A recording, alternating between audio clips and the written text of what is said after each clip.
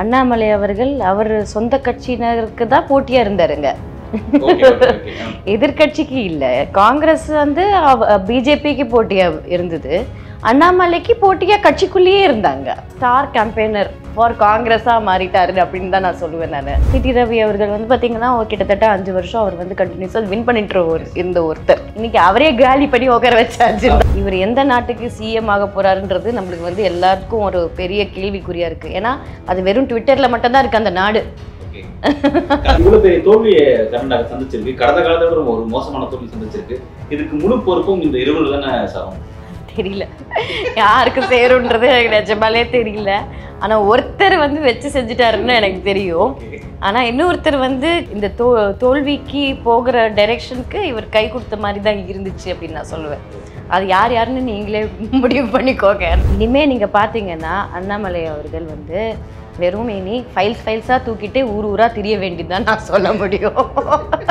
என்னை பொறுத்த வரைக்கும் உங்க கம்பெனியில் ஏதாவது மேனேஜர் வேணும்னா நல்லா கேமராவும் செய்வார் அப்படின்னு சொல்லுவேன். உங்க சேனலுக்கும் யூஸ்ஃபுல்லா இருப்பாங்க அப்படின்னு சொல்லிட்டு நான் ஒரு நல்ல மேனேஜர் உங்களுக்கு தரேன் அப்படின்னு தான் நான் சொல்ல முடியும். கர்நாடகா எலெக்ஷன்ல பாஜக தோக்கடிச்சாருங்கிறது வேற விஷயம். இப்போ அடுத்து நடைபயணத்தை திரும்ப மேற்கொள்ள போறோம் அப்படிங்கிறாரு. இது எப்படி பாசிபிள் டெல்லி பாஜக எனக்கு தெரிஞ்சு நீங்க இந்த கேள்வியெல்லாம் நீங்க அவர்கிட்ட கேட்டிங்கன்னா ஓன் அழுதுருவாருன்னு தான் நான் சொல்லுவேன். பிகாஸ் இப்போ வந்து எதுவுமே ஆன்சர் பண்ண முடியாத ஒரு சூழ்நிலையில உட்காந்துட்டு இருக்காரு வணக்கம். தமிழ் குரலின் இன்றைய நேர்காணலில் நம்முடன் பேச இருக்கும் சிறப்பு விருந்தினர் காயத்ரி ரகுராம் அவர்கள். வணக்கம் வணக்கம். எப்படி பாக்குறீங்க கர்நாடகா தேர்தல் முடிவு காங்கிரஸ் வெற்றிங்கிறது உறுதியா இருக்குது எப்படி பாக்குறீங்க அதாவது காங்கிரஸ் பார்த்தீங்கன்னா அந்த ஃபார்ட்டி பர்சன்ட் கமிஷன்னு ஒரு ஸ்ட்ராங்கான பாயிண்ட் எடுத்து வச்சுருந்தாங்க. நோபடி அதாவது பீப்புள் நீங்கள் பார்த்தீங்கன்னா மக்கள் பார்த்தீங்கன்னாலே இன்னைக்கு வந்து ஷூடாக இருக்காங்க. யாருக்கு ஓட்டு பண்ணணும் யாருக்கு ஓட் பண்ணக்கூடாது அப்படின்றது ஷூடாக இருக்காங்க. Whether you like them or you don't like them end of the day நம்ம ஓட் பண்ணுறவங்களுக்கு வந்து நம்மளுக்கு நான் என்ன பண்ணுறாங்கன்னு பார்த்து தான் அவங்க வந்து ஓட் பண்ணுறாங்க ஸோ அப்படி இருக்கும்போது நாற்பது பர்சன்ட் கமிஷன் அப்படின்னு சொல்லிட்டு ஒரு லாஸ்ட்டாக ஒரு பாயிண்ட் ஒன்று அடிக்கிறாங்க. ஆஃப்டர் இந்த எலெக்ஷன் கேம்பெயின் முடிச்சதுக்கப்புறம் ஒரு லெட்டர் கான்ட்ராக்டர் லெட்டர் வந்து வெளியில் வருது. ஸோ அசோசியேஷன் வந்து வெளியில் விட்டதுக்கு அப்புறம் இது அது இன்னுமே ஒரு பெரிய ஒரு தாக்கம் கொடுத்ததுன்னு நினைக்கிறேன் மக்களுக்கு மக்களிடையே. அதை தாண்டி கர்நாடகா ஒரு அழகான ஒரு இடம். சில இடங்களில் வந்து அது வந்து கேர் இல்லாமல் போனது வந்து ஆன்டி இன்குபிள்சி வந்து அதிகமாக இருந்தனால இன்னைக்கு வந்து மாற்றம் வந்திருக்கு. அது அப்படின்னு நம்ம ஏ ஏற்றுக்கொண்டு தான் ஆகணும் அப்படின்னு. ஏன்னா பிகாஸ் எல்லாருக்குமே ஒரு லெசன் அப்படின்னு தான் நான் சொல்லுவேன் இது எல்லாம் எல்லாருக்கும் ஒரு பாடம். அது வந்து யாருமே அலட்சியமாக நம்ம விட்டுறக்கூடாது. அப்படின்றது ஒன்று தான் நம்ம கையில் ஆட்சி இருக்குது நம்ம கையில் எல்லாமே இருக்குன்னு நினச்சிட்டு நம்ம வந்து ஒரு சின்ன தப்பு பண்ணால் கூட அது மக்கள் ஏற்றுக்க மாட்டாங்கன்றது இது ஒரு பெரிய பதில் அப்படின்றது தான் அர்த்தம் அப்படின்னு நான் பார்க்குறேன் ரொம்ப முக்கியமா இந்த கர்நாடக தேர்தல் அப்படிங்கிறது அதோடைய பிரச்சாரம் அதுக்கான முக்கியமான நபர் அப்படிங்கிறது தமிழ்நாடு மாநிலத்தில் அண்ணாமலை அவர்கள். ரொம்ப பரிச்சயமான நபர் அவர். கிட்டத்தட்ட பிரதமர் நரேந்திர மோடி தற்பொழுதுதான் வந்து ஒரு வாழ்த்துக்கள் தெரிவிச்சிருக்காரு. காங்கிரஸ் வெற்றி பெற்ற காங்கிரஸ் ஒரு வாழ்த்துக்கள் தெரிவிச்சிருக்காரு. அவர் தெரிவிச்சிட்டாரு. சின்னஜி பெருமைமிக்க கன்னடிகர் இன்னும் என்னென்ன சொல்லாது. எலெக்ஷனுக்கு தன்னோட பணத்தெல்லாம் இழந்து ஏழை நிலைக்கு தள்ளப்பட்டவர் ஒரு புனிதர். பல அடையாளங்கள் தனக்கு சொல்லிக்கிறவர் இதுவரையும் எந்த வாழ்த்துக்களும் தெரிவிக்கல. ட்விட்டர் பேஜ்ல இருந்து கிட்டத்தட்ட ஒன்பது மணி நேரம் அவர் காணும். அவரோட எந்த போஸ்டும் காணும். எங்கேயோ எங்கேயோ ஏதோ நடந்துட்டு இருக்கு எங்கேயோ ஏதோ ஒரு தேர்தல் முடிவு வந்துட்டு இருக்கு ஏதோ ஒரு கண்ட ஆப்பிரிக்கன் கண்ட்ரில ஏதோ நடந்துட்டு இருக்க மாதிரி அவரோட சைலன்ஸ் பார்க்க முடியுது. எப்படி பாக்குறீங்க அவரோட சைலன்ஸ் இல்லை நீங்கள் வந்து பார்த்தீங்கன்னா அண்ணாமலை அவர்கள் அவர் சொந்த கட்சியினருக்கு தான் போட்டியாக இருந்தாருங்க. எதிர்க்கட்சிக்கு இல்லை. காங்கிரஸ் வந்து பிஜேபிக்கு போட்டியா இருந்தது. அண்ணாமலைக்கு போட்டியா கட்சிக்குள்ளேயே இருந்தாங்க. அதான் அவ- அவரை வந்து அவரோட வந்த வந்த டைம்ல இருந்து நீங்க பாத்தீங்கன்னா சொந்த கட்சியில இருக்கிறவங்களே எப்படி வீழ்த்தணும்னு தான் பா பார்த்துட்டு இருந்தாரே தவிர அவர் வந்து ஆப்போசிட் கட்சியை வந்து ஏதோ பண்ற மாதிரி நம்மளுக்கு தெரியல. அவரு கட்சிக்கு எதிராக வேலை செஞ்சிருக்காரு அவரு. அதான் இன்னைக்கு பாத்தீங்கன்னா சிடி ரவி அவர்கள் வந்து பாத்தீங்கன்னா ஒரு கிட்டத்தட்ட அஞ்சு வருஷம் அவர் வந்து கண்டினியூஸா வின் பண்ணிட்டு ஒரு இருந்த ஒருத்தர். இன்னைக்கு அவரே காலி பண்ணி உட்கார வச்சாச்சுன்னு தான் நான் பாக்குறேன் நானு. ஆமா பார்வையாளர். அவரை அவரே கூட ஒரு ஒரு- இது பண்ணியாச்சு. ஸோ இது இவர் வந்து எப்படி வந்து சொல்றதுன்னு பார்த்தீங்கன்னா ஸ்டார் கேம்பெயினர் ஃபார் காங்கிரஸா மாறிட்டாரு அப்படின்னு தான் நான் சொல்லுவேன் நான். ஸ்டார் கேம்பெயினர் ஏன்னா இந்த ஃபார்ட்டி பர்சன்ட் கமிஷன் வந்து ஒரு இன்டர்வியூவில் பா பார்க்கும்போது அவரோட ஆன்சரை பார்த்து தான் இன்னைக்கு மக்கள் எல்லாருமே வந்து வேந்து போய் இருக்காங்க அப்படின்னு சொல்லிட்டு நான் சொல்லுவேன் ஒரு கரெக்டா ஒரு விஷயத்தை குறிப்பிட்டீங்க. அவரோட நியூஸ் மினிட் நினைக்கிறேன். ஆமா கரெக்ட் அந்த விஷயத்துல இருந்து இந்த ஊழல் குறித்து அவர்கிட்ட ஒரு கேள்வி கேட்கறாங்க ஆ. வந்து தமிழ்நாட்டை வந்து ஊழலுக்கு எதிராக ஒரு அரசியல் செய்ய வேண்டியது இருக்கு. அதை நான் தான் முன்னெடுக்க போறேன் அப்படின்லாம் வந்து அவர் பேசிட்டு இருக்காரு. பட் கர்நாடகாவில் நடந்த ஊழல் வந்து பாஜகவோட ஆட்சி. அதுக்கு அவர்கிட்ட பதில் கேட்கும்போது அவர் என்ன சொல்றாரு அப்படின்னா மக்கள்கிட்டயும் ஒரு தவறு இருக்கு அப்படின்னு மக்கள்கிட்ட திசை திருப்புறாரு. மக்கள் தங்களோட ஒரு வேலையை சீக்கிரம் முடிச்சுக்கணும் அப்படின்னா உடனே அதுக்கு பணம் கொடுக்குது அப்படின்னு மக்கள் மீது வந்து அந்த விஷயத்தை திருப்பி அந்த இன்டர்வியூல சொல்லியிருந்தாரு. எப்படி பாக்குறீங்க மேம் அதை? அவர் எப்படி அவர் வந்து வாயில திறந்தா போய் தான் இனிமே நீங்க பாத்தீங்கன்னா அண்ணாமலை அவர்கள் வந்து வெறும் இனி ஃபைல்ஸ் ஃபைல்ஸாக தூக்கிட்டு ஊர் ஊரா திரிய வேண்டியதுதான் நான் சொல்ல முடியும். என்னை பொறுத்த வரைக்கும் உங்க கம்பெனியில் ஏதாவது மேனேஜர் வேணும்னா நல்லா கேமராவும் செய்வார் அப்படின்னு சொல்லுவேன். ஸோ அந்த மாதிரி ஒரு மேனேஜர் உங்களுக்கு தெரியும் வேணும்னா உங்க சேனலுக்கும் யூஸ்ஃபுல்லா இருப்பாங்க அப்படின்னு சொல்லிட்டு நான் ஒரு நல்ல மேனேஜர் உங்களுக்கு தரேன் அப்படின்னு தான் நான் சொல்ல முடியும். ஒரு நட்சத்திர பேச்சாளர் பட்டியல் இருந்தார் கர்நாடகால. அவருக்கு அப்புறம் தான் வந்து உத்தரப்பிரதேச முதல்வர் யோகி ஆதித்யநாத் மத்திய பிரதேச முதல்வர் சிவராஜ் சிங் சௌகான் அவருக்கு அடுத்த பட்டியலில் தான் இருந்தாங்க. ரொம்ப அந்த அளவுக்கு ஒரு முக்கியத்துவம் கொடுத்து அதாவது வளர்ப்பு அப்பா வந்து தந்தை அவர் வந்து விட்டு கொடுக்கல. கடைசி வரைக்கும் எனக்கு ஒரே ஒரு பயம் எங்க மோடிக்கும் மேல வச்சிருவீங்களோ பேரல அப்படின்னு தான் எனக்கு ஒரு இதா இருந்தது. பெரிய டேலண்ட்டுங்க அதாவது சொந்த அவருக்கு ஃபர்ஸ்ட் கொடுத்த டாஸ்க் என்ன? வேர் எடுக்கணும். சொந்த கட்சியில இருக்கிறவங்கள வேர் எடுக்கணும் அப்படின்றத கிளை எடுக்கணும் அப்படின்றத அவங்க பேசிக்கிட்டு இருந்தாங்க. ஸோ அந்த ஒரு டாஸ்க்ல மட்டும்தான் மும்முரமா அவர் கரெக்டாக செஞ்சிருக்காரே தவிர அவர் வந்து கட்சியை வளர்த்த மாதிரி எனக்கு எதுவுமே தெரியல. அதாவது இன்னைக்கு வந்து மூ மூணு வருஷத்துக்கு பின்தாங்கி போனால் அப்படி கூட நம்ம வந்து ரீ ஸ்டெப் எடுக்கலாம். அதாவது மொத்தமாக இவர் வந்து ஃபஸ்ட்டு ஸ்டெப்லேருந்து ஹண்ட்ரட் ஸ்டெப்புக்கு போயிட்டார். அதாவது நான் வந்து காமராஜர் மாதிரி நான் வந்து எம்ஜிஆர் மாதிரி நான் ஜெயலலிதா மாதிரி கலைஞர் க- கருணாநிதி ஐயா அவர்கள் மாதிரி சொல்லி முடிச்சிட்டாரு. சொல்லி முடிச்சுட்டு இன்னைக்கு அந்த லெவலுக்கு போயாச்சு. ஆனால் இன்னைக்கு அவரோட கம்பேரிசன் வந்து வேற மாதிரி ஃபர்ஸ்ட் ஸ்டெப்புக்கு பத்து வருஷத்துக்கு பேக் வந்தாச்சு. அந்த மாதிரி பார்ட்டியை வந்து பத் பத்து வருஷத்துக்கு பேக் கொண்டு வந்துட்டாருன்னு தான் நான் சொல்லுவேன். குறிப்பிடுறாங்க.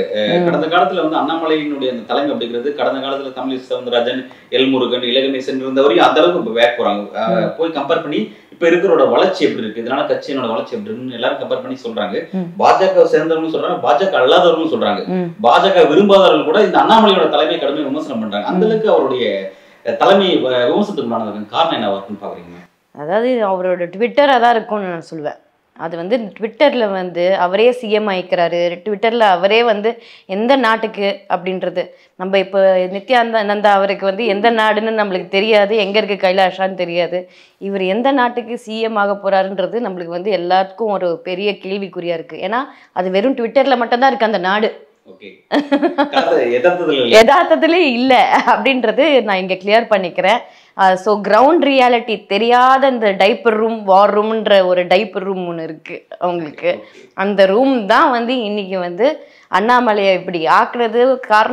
இந்த இந்த இந்த இந்த மாதிரி ஒரு விஷயங்கள் எல்லாம் வந்து அஹ், என்ன சொல்றது பிம்பத்தை கிரியேட் பண்ணி மொத்தமாக உடைச்சதுக்கு காரணமே இந்த மாதிரியான ஒரு டீமை போலியான ஒரு டீமை செட் பண்ணி மற்றவங்கள அசிங்கப்படுத்துகிற ஒரு டீமை செட் பண்ணிக்கிட்டு தன்னைத்தானே பூஸ்ட் பண்ணிக்கிற ஒரு டீமை செட் பண்ணிக்கிட்டு இன்றைக்கி பண்ணுற ஒவ்வொரு விஷயமும் இன்றைக்கி வந்து அப்பட்டமாக எல்லாருக்கும் மக்களுக்கு தெரிஞ்சிருச்சு. வெறும் இது எல்லாமே வெறும் பிம்பம் தான். யுவர் நத்திங் எல்ஸ் அப்படின்னு. எம்டி வெசல் தான். இவர் தான் நான் சொல்கிறேன் டிஎம்கே ஃபைல்ஸ் நீங்கள் எத்தனை ஃபைல்ஸ் வேணால் தூக்கி நீங்கள் வேணால் எங்கே வேணால் போங்க. No is going to believe you ஏன்னா வாய் திறந்தால் பொய் மட்டும்தான். எதுவுமே வந்து உண்மையை சொல்கிறதுக்கு எதுவும் இல்லை. இதுக்கு இதில் வேற வந்து அவர் வந்து பிடிஆர் எப்படி வந்து மினிஸ்ட்ரி மாற முடியும்ன்றது கேள்வி இவர் எழுப்புறாரு. இந்த க அது அவங்களோட இஷ்டம். அது ஒரு கவர்மெண்ட்டோட இஷ்டம். யார் வேணா எப்படி வேணா ரீஷஃபில் பண்ணலாம். அதுக்கு என்ன இதுக்கு கூட முன்னாடி தான் நம்ம வந்து ஏகப்பட்ட மினிஸ்ட்ரி போஸ்ட் வந்து மாறி மாறி பிஜேபிக்கும் நடந்திருக்கு சென்ட்ரல்ல அது மாற்றம் நடந்துட்டு தான் நடக்கக்கூடிய ஒரு விஷயம் தான். அது இவர் தலையிடுறதுக்கு ஒண்ணுமே கிடையாது. அதுக்கு தலையிடுறதுக்கான அருகதையும் கிடையாதுன்னு தான் நான் சொல்லுவேன். ஸோ பேசிக்காக எல்லா அதுவும் மலிவான ஒரு சீப்பான ஒரு விஷயத்த பண்ணியாச்சு. அதாவது என்னன்னா ஆடியோ வந்து அது போலியான ஆடியோவா உண்மையாவே இருக்கட்டுமே அந்த மாதிரி ஒரு எல்லா ரூம்லயும் போயிட்டு உட்காந்து நீ ரெக்கார்ட் பண்ற அளவுக்கு தான் உன் வேலைன்னா எப்படி? அது ரொம்ப கஷ்டம். இது எவ்வளோ ஒரு சீப்பான ஒரு அரசியலுக்கு நம்ம நோக்கி கொண்டு போய்கிட்டு இருக்காருன்றது தான். வந்து அந்த ஆக்டிவிட்டி வந்து ஒரு முகம் சுளிக்கக்கூடிய ஒரு சம்பவமா தான் அதை பாக்குறாங்க அண்ணாமலையுடைய தொடர் ஆடியோ அந்த வீடியோ அந்த சார்ந்த அந்த டேப் அந்த விஷயம் இல்லைங்க நான் வந்ததுலேருந்து நீங்கள் பாருங்க. அவர் வந்த அன்னிலேருந்து இந்த பிரச்சனை போய்கிட்டு இருக்கு ஆடியோ வீடியோ ஆடியோ வீடியோ இவன் ஆடியோ வீடியோவோட தலைவராக மாறிக்கிட்டு இருக்கார். அதாவது ட்விட்டரில் மட்டும்தான் இது போய்கிட்டு இருக்கு இது எப்படிங்க ஓட்டா மாறும்? நான் கேட்குறேன் இது எப்படி ஓட்டா மாறும் பிஜேபிக்கு இதுக்கு கண்டிப்பாக ஓட்டா மாறுறதுக்கு எந்த சான்சஸும் கிடையாது. இந்த விஷயம் வந்து தொடர்ச்சி அவரை மட்டும் நிலைநிறுத்த வைக்கும் அதை தாண்டி கட்சியோட அது அவருக்குமே நல்லது இல்லைன்ற நான். நீங்க சும்மா ஆடியோ வீடியோன்னு சொல்லிட்டு இருக்கீங்கன்னா அது வெளில.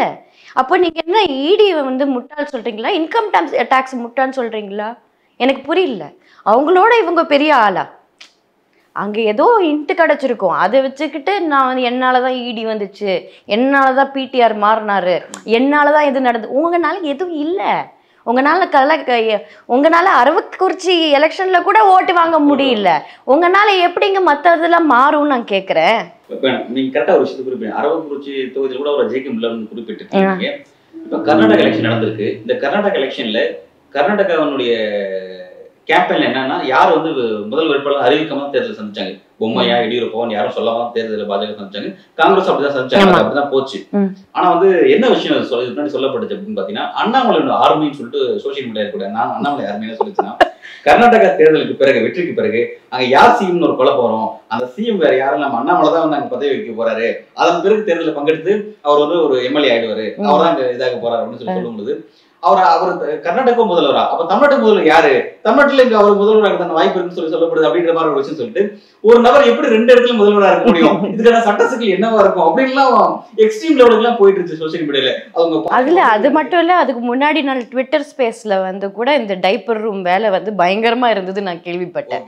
அதாவது என்னென்ன அடுத்த முதல்வர் இவர் தான் அங்கே கர்நாடகாவில் நீங்கள் சொன்னது தான் போய்கிட்டு இருந்தது. ஸோ எல்லாரும் ஃபோன் பண்ணி எனக்கு சிரிச்சிட்டு இருந்தாங்க இந்த மாதிரி போய்கிட்டு இருக்கு என்னங்க எப்படிங்க அது? என்ன எனக்கு எனக்கு என்னமோ சந்தேகமா இருக்கு.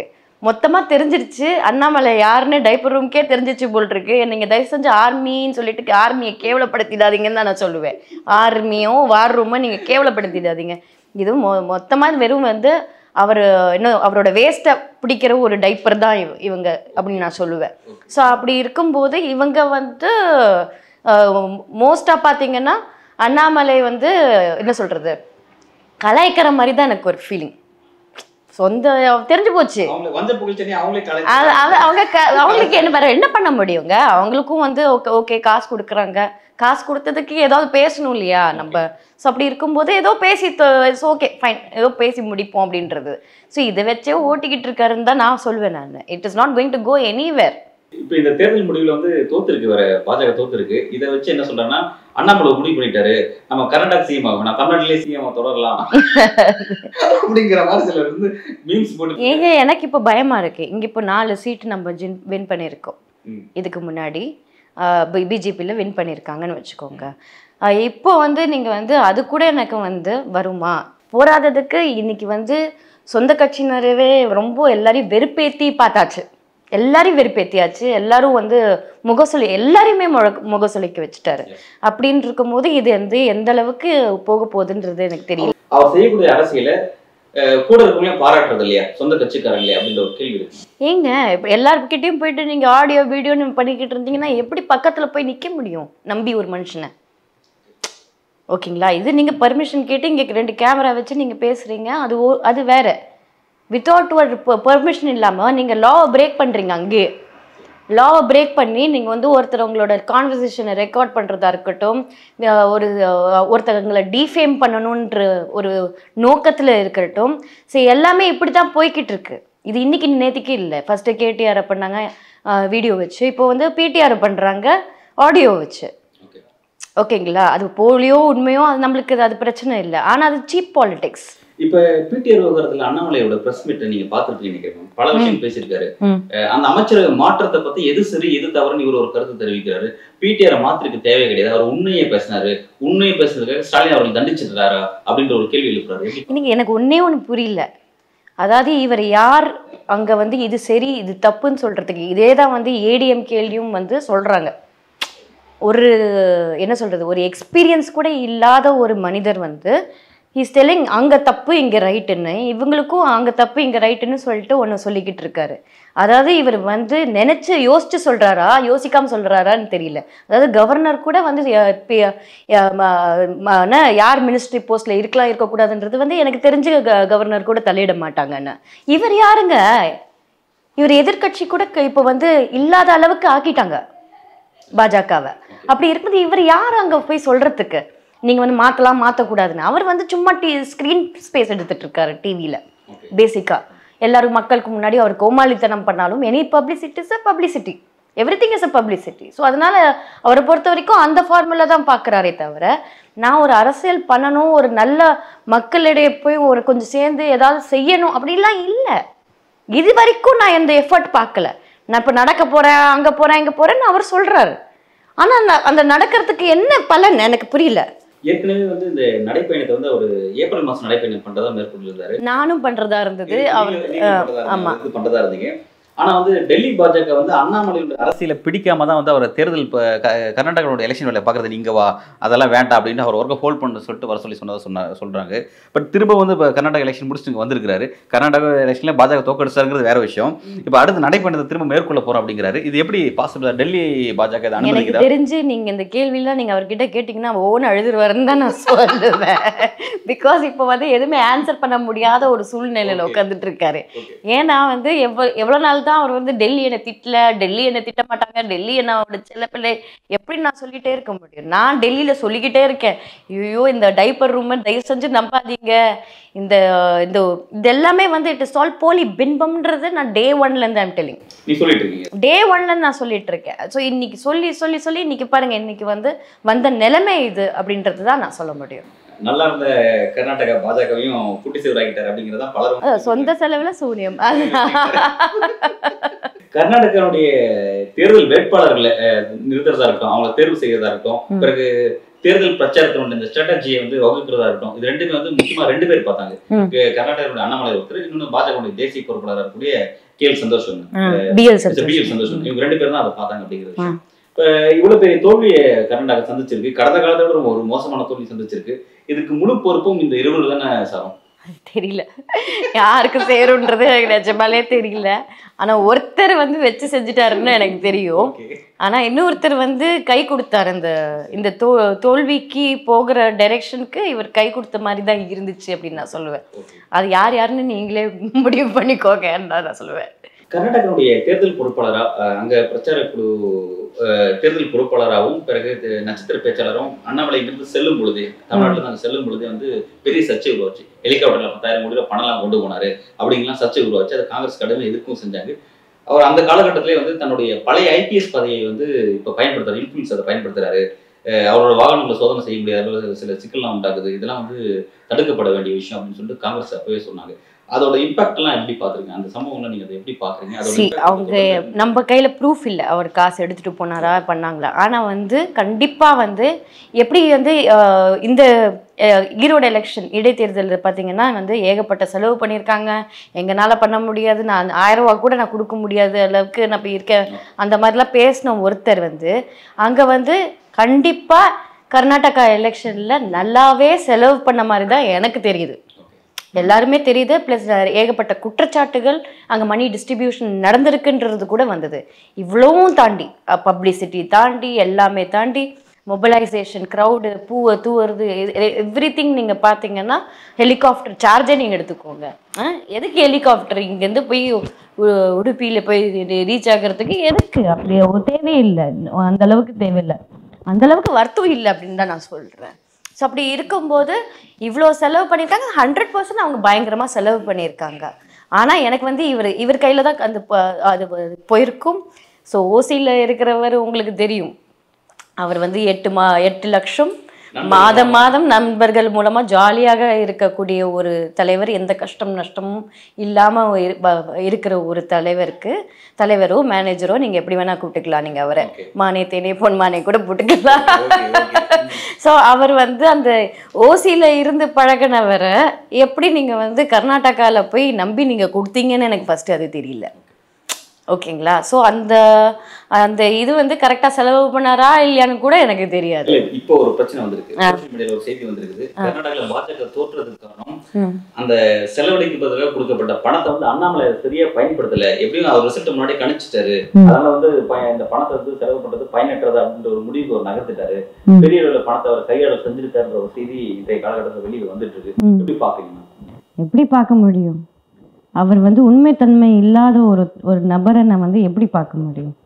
ஸோ அதனால் ஒரு பாசிபிலிட்டி இருக்கும் தான் நான் சொல்லுவேன். பாசிபிலிட்டி இருக்கும். இல்லைனா வந்து இல்லைனா இவ்வளோ சைலண்ட்டாக இருக்கணும்னு அவசியமே இல்லை. தோல்வியாக இருந்தால் கூட நான் ட்ரை பண்ணேன். It is my first election காலரை தூக்கிட்டு போயிருக்கலாம். ஆனாலும் இது வந்து எனக்கு தெரிஞ்சு ஒரு எக்ஸ்பீ இன்எக்ஸ்பீரியன்ஸ்டு ஏதோ ஒரு குற்றுள்ள மனது வந்து குறுகுறுக்கும். அதனால தான் நேத்திக்கே வந்து ப்ரெஸ் மீட் எல்லாம் முடிச்சுட்டு ஹாப்பியாக முடிச்சிட்டார் பேசிக்காக நேற்றுக்கு இன்னைக்கு தேர்தல் வந்து பாஜகவுக்கு எகென்ஸ்டா தான் வரும். நம்மள பெரிய ஒரு விமர்சனத்துக்கு உள்ளாகும். அதனால வந்து இன்றைய சொல்ல நமக்கு சாதகமா இருக்காது. அதனால தான் இந்த பிரஸ் மீட் அவர் நேற்றே நடத்திட்டாருன்னு ஒரு விஷயம். அதான். அதுக்கு அடுத்தது வந்து இந்த ஜூலை வரைக்கும் உங்களுக்கு ஃபைல்ஸ் இன்னொரு ஃபைல்ஸ் வரப்போகுது அப்படின்னு சொல்லிட்டு அவங்க சொல்லிட்டு இருக்காங்க. இன்னும் இரு இருபத்தி ஒரு பேரோட சொத்து பட்டியல் வெளியில வெளியே விட போறாரு. நான் என்ன கேட்குறேன்னா ஓசியில் இருக்கிற நீங்கள் எப்படி இன்னொருத்தரோட சொத்து பட்டியலை பற்றி நீங்கள் வந்து கேலி பண்ணலாம்? இல்லைன்னா வந்து போட்டு கொடுக்க முடியும்ன்றதே எனக்கு ஒரு பெரிய கேள்விக்குறியாக இருக்குது. இது நியாயமாகவும் படலை எனக்கு ஃபர்ஸ்ட் ஆஃப் ஆல் அது வந்து இருக்கும்போது உங்களுக்கு வந்து ஓகே ஃபைன் நீங்கள் வந்து இதில் ஊழல் இருக்கா? அது நீங்கள் எடுத்து சொல்லுங்கள் பேர் என்ன? ஆல்கஹால் அந்த இதில் வந்து லிக்கர் ஸ்கேம் இருக்கா? சொல்லுங்கள் அது தைரியமாக சொல்லுங்கள் அது பிரச்சனை இல்லை. ஆனால் நீங்கள் வந்து எது ஸ்பெசிஃபிக்கான ஒரு ஸ்கேம் பற்றி இன்னி வரைக்கும் பிஜிஆர் எனர்ஜி பற்றி பேசாத ஒருத்தர். ஓகேங்களா வாயே திறக்காத ஒருத்தர். அதுக்கான ஒரு ரீசன் ஏன் அப்படின்றது இன்னி வரைக்கும் அந்த ஃபைலை கூட கொடுக்காத ஒருத்தர். இன்றைக்கி வந்து வெறும் சொத்து பட்டியல் பற்றி மட்டுமே பேசுகிற ஒருத்தர். அதாவது ஜூலை வரைக்கும். எதுக்கு ஜூலை வரைக்கும்? நாளைக்கு கொடுங்க. நாளைக்கு கொடுங்க. எதுக்கு அவ்வளோ நாள் தேவை? ஸோ தேவையே இல்லையே. அது சும்மா சொல்லி சொல்லி சொல்லி அப்புறம் வாக்கிங் போவார்ல. வாக்கிங் போகும்போது நான் சொல்லிட்டேன் நான் சொல்லிட்டேன் என்ன என்னால பயந்துட்டாங்க.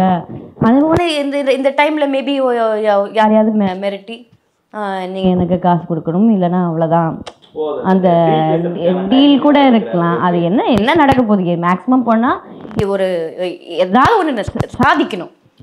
மக்களிடையில சாதிக்கிற மாதிரி தெரியல. அப்போ இப்படியா சாதிக்கணும்ல.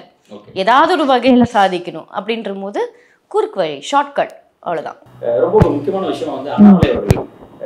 அந்த எட்டு லட்ச ரூபா அவருக்கு மாதம் மாதம் அந்த நிதியுதவி கொடுக்குற நண்பர்கள் சொல்லி அவர் ஒரு பதிவு பண்ணாரு.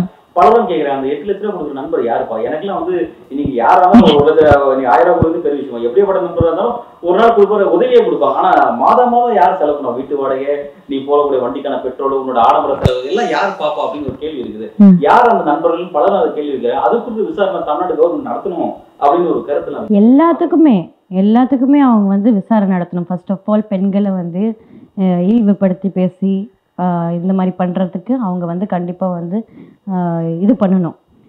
இந்த வீடியோ ஆடியோ எடுக்கிறதுக்கு கண்டிப்பாக இவருக்கும் லா இருக்குது ஜஸ்ட் பிகாஸ் இவர் அண்ணாமலை பாஜகவோட தலைவர்ன்றதுக்காக அவங்க ஃப்ரீயாக விடக்கூடாதுன்னு தான் நான் சொல்லுவேன். ஏன்னா வந்து போலியான ஃபைல்ஸ் விடுறதும் எல்லாமே வந்து இட் இஸ் அஃபென்ஸ் அவர் பண்ணுறது இன்னி வரைக்கும் ஸ்டார்டிங்லேருந்து எண்டிங் வரைக்கும் லாவண்யா விஷயத்துலையா இருக்கட்டும் இல்லை இன்னைக்கு வந்து ரெண்டு மூணு விஷயங்கள் வந்து அவர் வந்து மாட்டியிருக்காங்க. நாங்கள் கேள்விப்பட்டேன். எக்ஸாம்பிள் இப்போ வந்து ஆ ஆருத்ரா விஷயம். ஸோ இந்த மாதிரி விஷயங்கள்ல மாட்டி இருக்கும்போது அதான் சம்மந்தம் இல்லைனால தானே இன்னைக்கு வந்து கட்சியில நிர்வாகியா போட்டுட்டு வந்து இன்னைக்கு வந்து நிறைய விஷயங்கள் பண்ணாங்க. அந்த சுவாசம்னு ஆரம்பிச்சாங்க. அதுக்கப்புறம் என்ன ஆச்சு சுவாசம்னு நான் நம்ப ஃபுல்லா சுவாசம் எடுத்துக்கிட்டாரு சுவாசம் எடுத்துக்கிட்டாருன்னு நினைக்கிற போல் இருக்கு ஸோ அதனால எனக்கு தெரிஞ்சு வந்து it's all like he's completely ஒரு ஃபார்ஜ்ட் பர்சன் அப்படின்னு தான் நான் சொல்லுவேன். ஒரு கிரிமினலை ஹேண்டில் பண்ணி பண்ணி பண்ணி ஒரு போலீஸாக இருக்கும்போது இவரே ஒரு இதாக மாறிட்டாரான்றது எனக்கு ஒரு பெரிய டவுட் டவுட் வருதுன்னு தான் நான் சொல்லுவேன். ரொம்ப விரிவான பார்வையை பதி பகிர்ந்திருக்கீங்க. குறிப்பா அண்ணாமலையோட அரசியல் என்ன? அவரோட யதார்த்தம் என்ன? கட்சியில பயணப்பட்டவங்களோட அனுபவத்திலிருந்து அவர் வெளியிலிருந்து உற்று நோக்கக்கூடிய அனுபவத்திலிருந்து கர்நாடகாவில் அவரோட ரோல் என்ன? அவர் என்ன எதிர்பார்த்தது? நான் மக்கள்லாம் வெளியிலேருந்து புரிஞ்சுட்டு வேற அவர் எதிர்பார்த்தது உண்மையே நடந்திருக்கு. காங்கிரஸோட வெற்றிக்காக தான் அவர் பாடுபட்டிருக்காரு அப்படிங்கிறத ரொம்ப அழகா உங்களோட அனுபவம் உங்களோட பதிலை கொடுத்துருக்கீங்க. உங்களோட கருத்துக்கும் வருகைக்கும் மிக்க நன்றி ma'am thank you thank you so much